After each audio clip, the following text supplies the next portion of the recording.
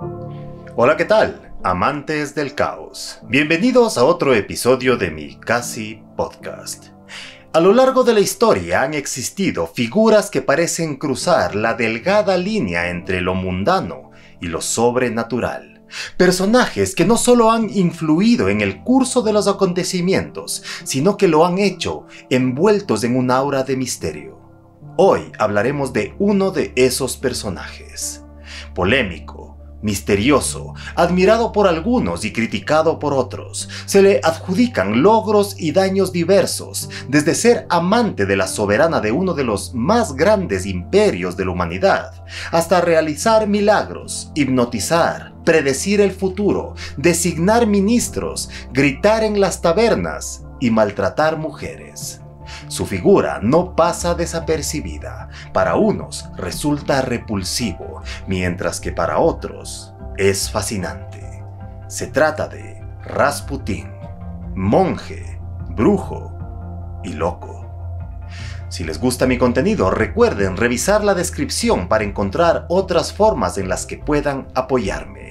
También, si es que quieren contactarse conmigo o darme algún tema, no duden en escribir al mail que aparece en pantalla. Y recuerden que el Casi Podcast ahora también tiene sus redes oficiales, así que no olviden seguirlas para encontrar más información.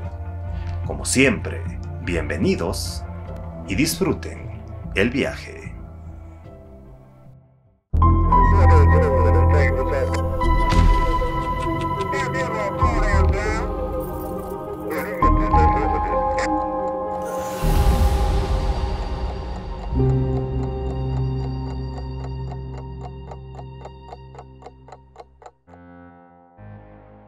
Viajemos en el tiempo, hasta los últimos años del Imperio ruso, antes de la revolución que impondría el gobierno socialista de Lenin. Nos encontramos a inicios del siglo XX, en la Rusia de la dinastía Romanov. El sistema feudal ha sido abolido en 1861, pero la desigualdad social y la pobreza persisten, especialmente entre los campesinos y obreros. En el seno de una de estas familias campesinas nace en 1869 Grigori Rasputin, el segundo hijo sobreviviente de ocho que había procreado el matrimonio.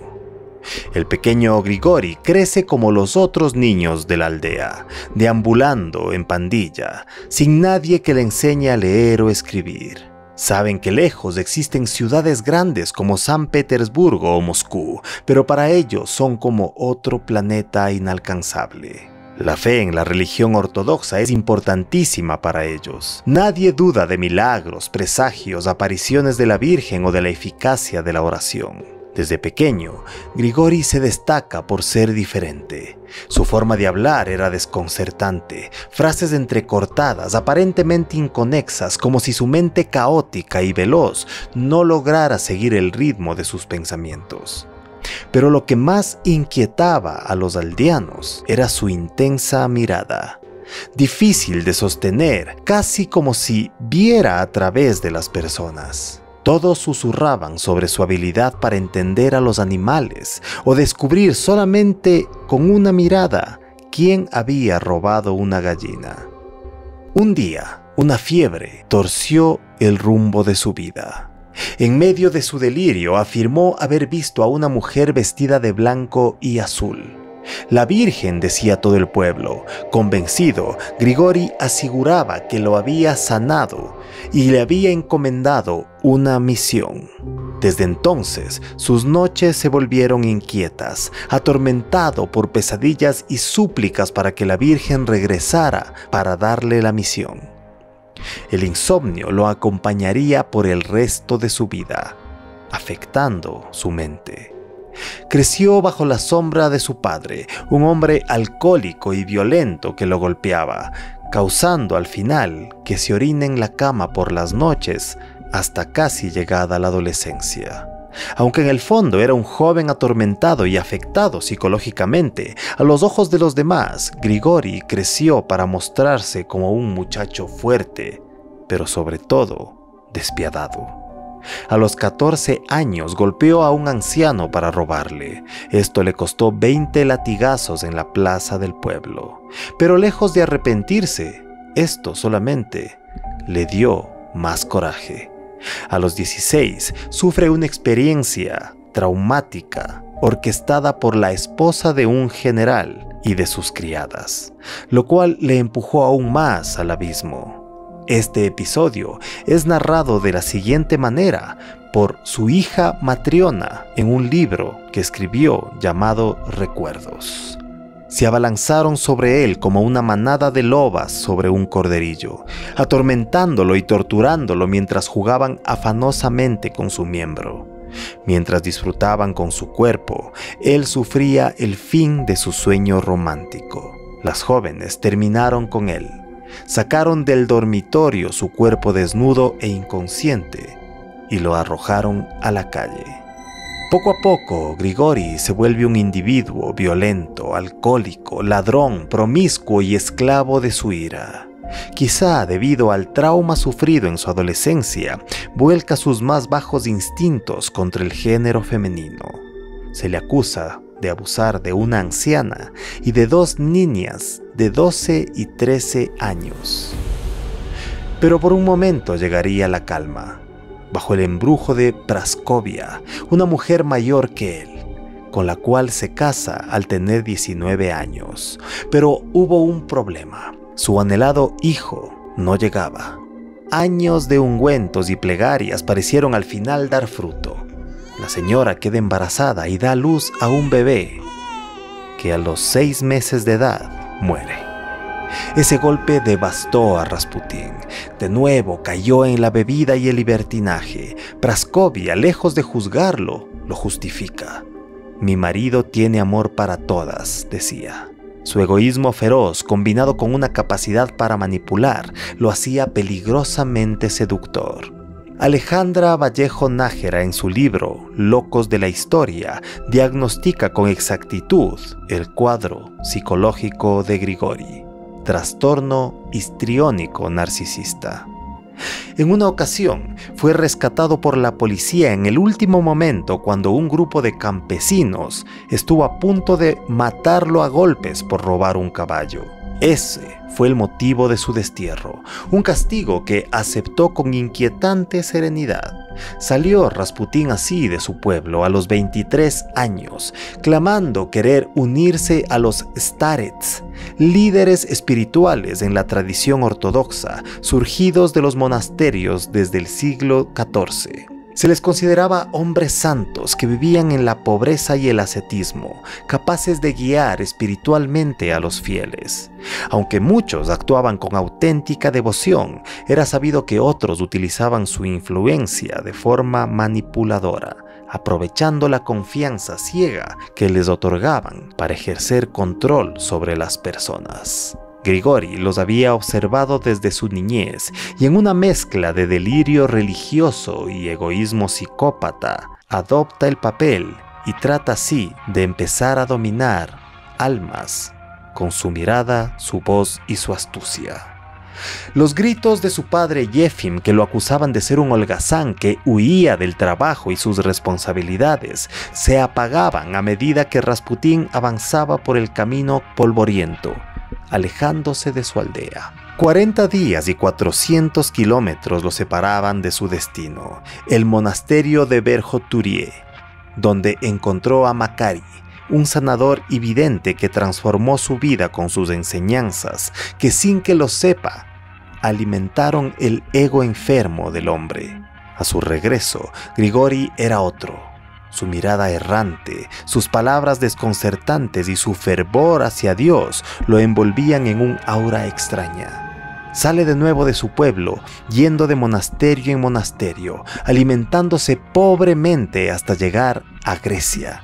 En 1893 topa el monte Athos, centro sagrado para monjes santos y ascetas, lugar emblemático para la fe ortodoxa. Tres años después, luego de visitar algunos templos, ermitas y otros lugares, consigue llegar a Tierra Santa. Volvería finalmente de nuevo a su aldea Pokrovskoye, Los rumores sobre sus capacidades para sanar no tardaron en expandirse por los alrededores y cada vez más personas acudían a su encuentro buscando alivio para sus almas. Rasputín, fortalecido por su creciente popularidad, alquila una casa y convierte el sótano de la misma en un oratorio. Allí, en la penumbra, recibía a los que clamaban por consuelo, en su mayoría mujeres, atraídas por su enigmático mensaje. Lo escuchaban mientras él, con voz suave, las guiaba hacia un perdón que solo él parecía poder otorgar. Pero bajo esta superficie se gestaba algo inquietante. Rasputín, que había aprendido a mezclar la ortodoxia con lo prohibido, incorporó a sus rituales las enseñanzas de los Gilisti, una secta que creía en la salvación a través del pecado. En su oratorio, las luces se bajaban mientras los cuerpos, embriagados y girando como enloquecidos, se dejaban arrastrar por el frenesí. Al borde de la histeria, los feligreses caían en un trance profundo, entregándose al pecado carnal supremo, convencidos de que sólo así el Espíritu Santo los abrazaría. Al siguiente día, repetían el ritual. Esta mezcla de placer y perdón había creado una religión a medida de Rasputín, que alimentaba su ego y lo elevaba por encima de lo común, permitiéndole abandonarse a sus instintos más bajos. Praskovia, su esposa, observaba en silencio, aceptando la extraña doctrina que su marido había creado. El pop local, incómodo con la creciente influencia de aquel hombre en la comarca, decidió denunciarlo pero la comunidad de Pokrovskoye, leal a su paisano, mantuvo en secreto todas sus andanzas. Sin pruebas que lo incriminaran, Rasputín quedó libre, aunque este susto lo hizo reflexionar y terminó abandonando nuevamente su pueblo, retomando su vida errante durante tres largos años. En cada aldea a la que llegaba, su mensaje se hacía más osado con una mirada ardiente, adoctrinaba a las mujeres que lo acogían con palabras cargadas de una peligrosa devoción.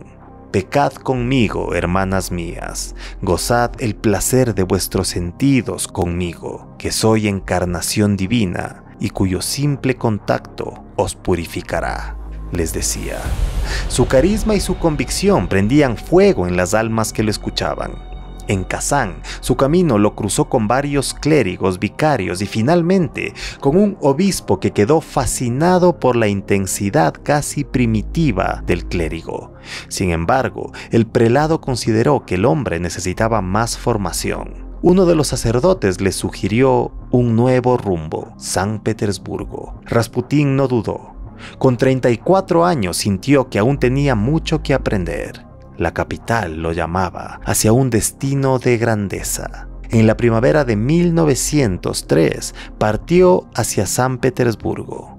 En su bolsillo llevaba la clave de su futuro, una carta de recomendación firmada por el obispo, donde se le describía como un starets honesto, un vidente certero y un verdadero hombre de Dios.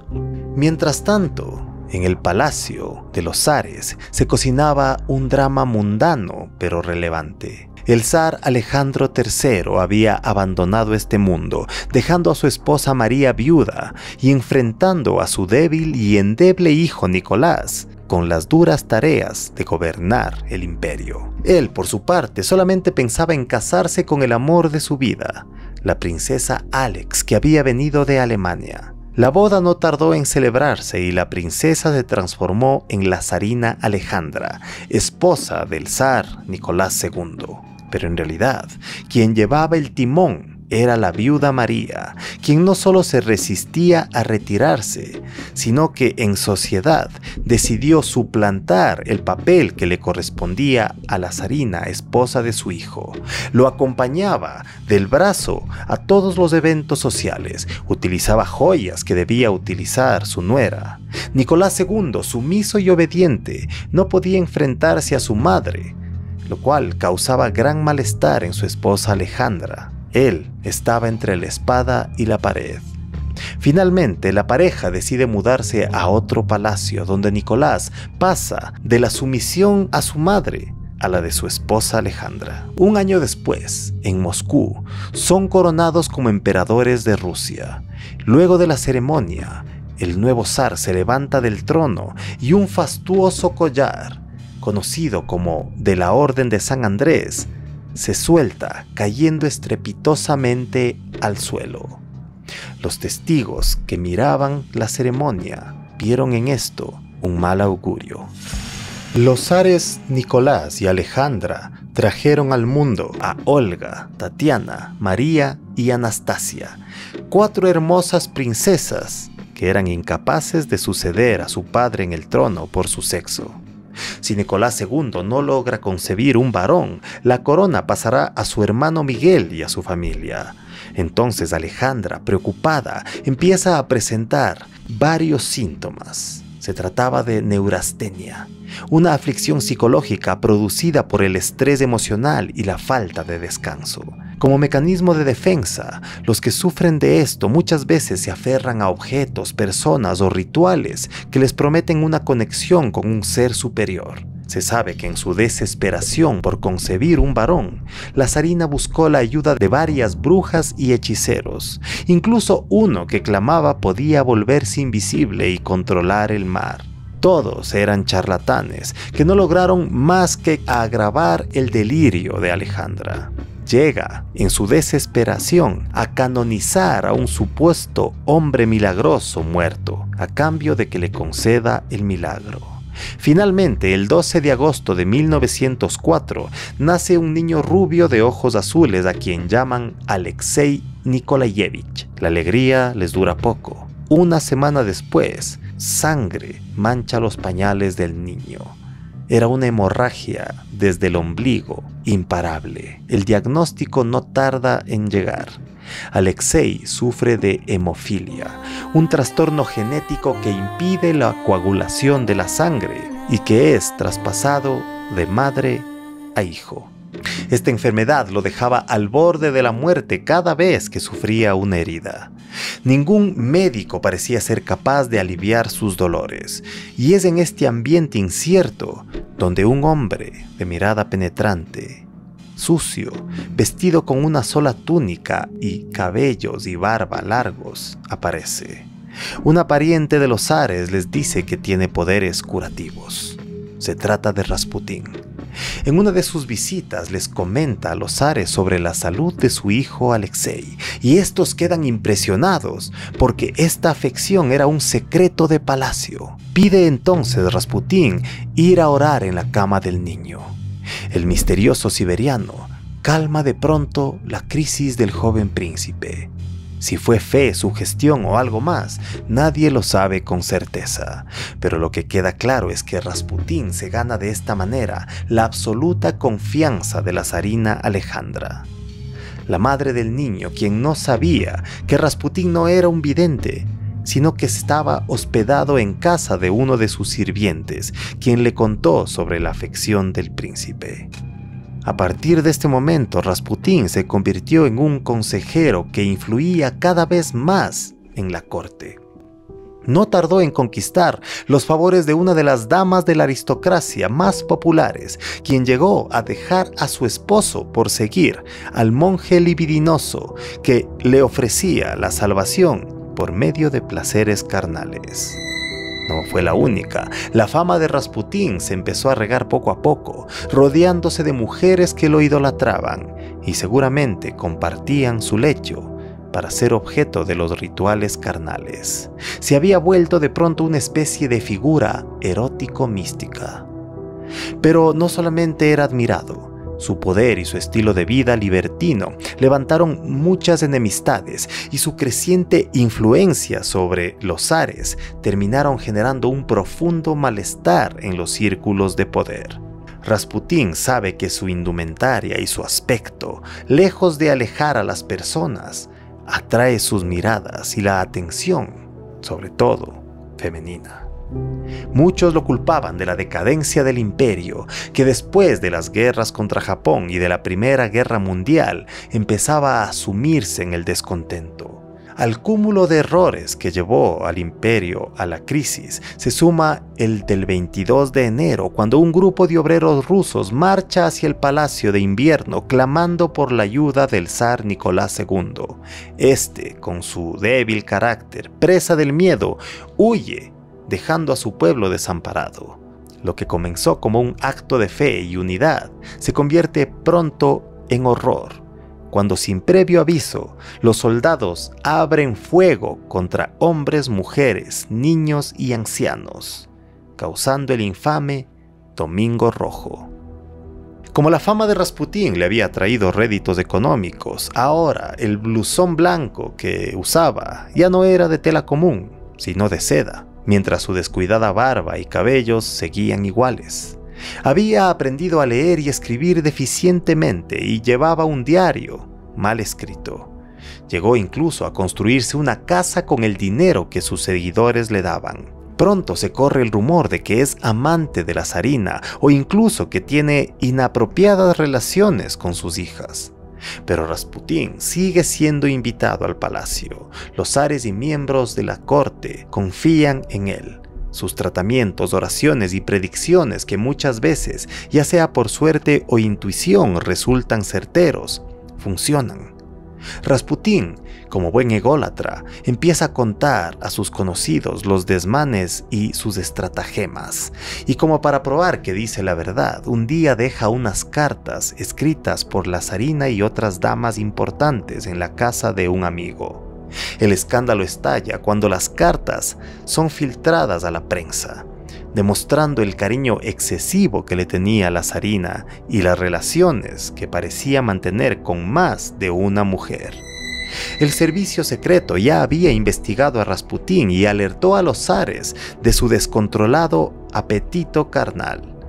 Pero ellos no quieren escuchar, estaban cegados por la fe.